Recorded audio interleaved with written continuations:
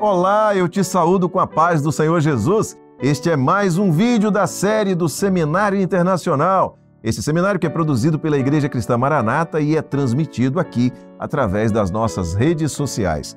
Lembrando que todas as terças-feiras você assiste a uma edição inédita deste seminário, sempre a partir das 19 horas.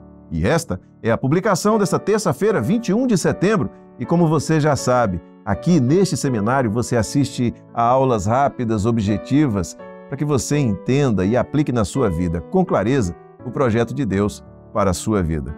E hoje nós vamos abordar o assunto o que fazer para ser batizado com o Espírito Santo.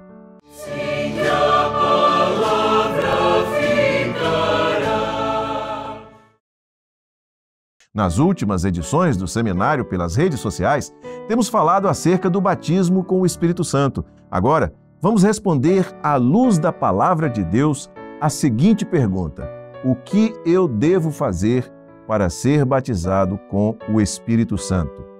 Primeiro, você precisa crer no Senhor Jesus, ou seja, o batismo com o Espírito Santo é somente para aquele que creu em Jesus como seu Salvador. O apóstolo Paulo perguntou aos irmãos em Éfeso: Disse-lhes: Recebestes vós já o Espírito Santo quando crestes? E eles disseram-lhe: Nós nem ainda ouvimos que haja Espírito Santo. Este texto está em Atos capítulo 19, verso 2. A segunda coisa a fazer é dar ouvidos à palavra de Deus, o que significa ser praticante da palavra de Deus e os que ouviram foram batizados em nome do Senhor Jesus. Atos capítulo 19, verso 5. Eles ouviram a palavra que revela a fé para a salvação, para receber então o batismo nas águas e o batismo com o Espírito Santo. Terceira ação: ter fé, pedir e esperar, pois o Senhor Jesus disse: Pois se vós, sendo maus, Sabeis dar boas dádivas aos vossos filhos? Quanto mais dará o Pai Celestial o Espírito Santo àqueles que lhe pedirem. Lucas capítulo 11, verso 13. Então, como é que o Senhor Jesus faz para me batizar com o Espírito Santo? João Batista afirmou dizendo: E eu em verdade vos batizo com água para o arrependimento, mas aquele que vem após mim é mais poderoso do que eu cujas alparcas não sou digno de levar, ele vos batizará com o Espírito Santo e com fogo. Mateus 3, 11. Por que o fogo?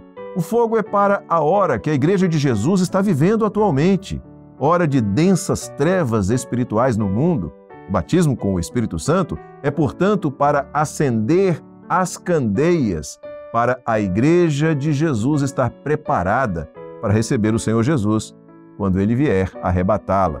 Perceba que estamos vivendo o cumprimento profético do quadro vivido pelos israelitas pouco antes da saída deles do cativeiro do Egito para irem em direção à terra prometida.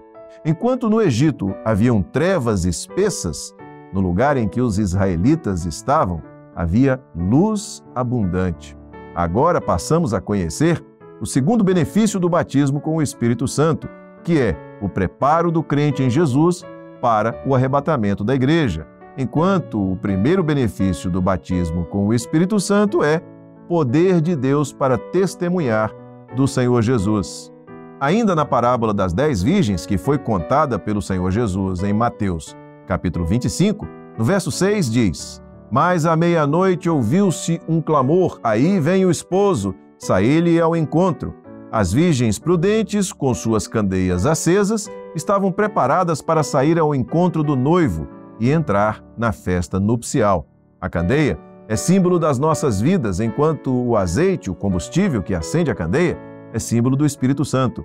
E o fogo é a bênção do batismo com o Espírito Santo, que Jesus quer dar àquele que nele crê, para assim estar preparado para entrar com ele no banquete eterno do Pai no dia do arrebatamento. A meia-noite é figura do momento de trevas espirituais no mundo, na sua mais densa escuridão. Deixa Jesus te batizar com o Espírito Santo e acender no seu coração a chama do amor de Deus. Esta reflexão é parte do conteúdo utilizado nos seminários da Igreja Cristã Maranata Até a próxima terça-feira com mais uma edição do Seminário Internacional, transmitido pelas redes sociais. A todos, a paz do Senhor Jesus.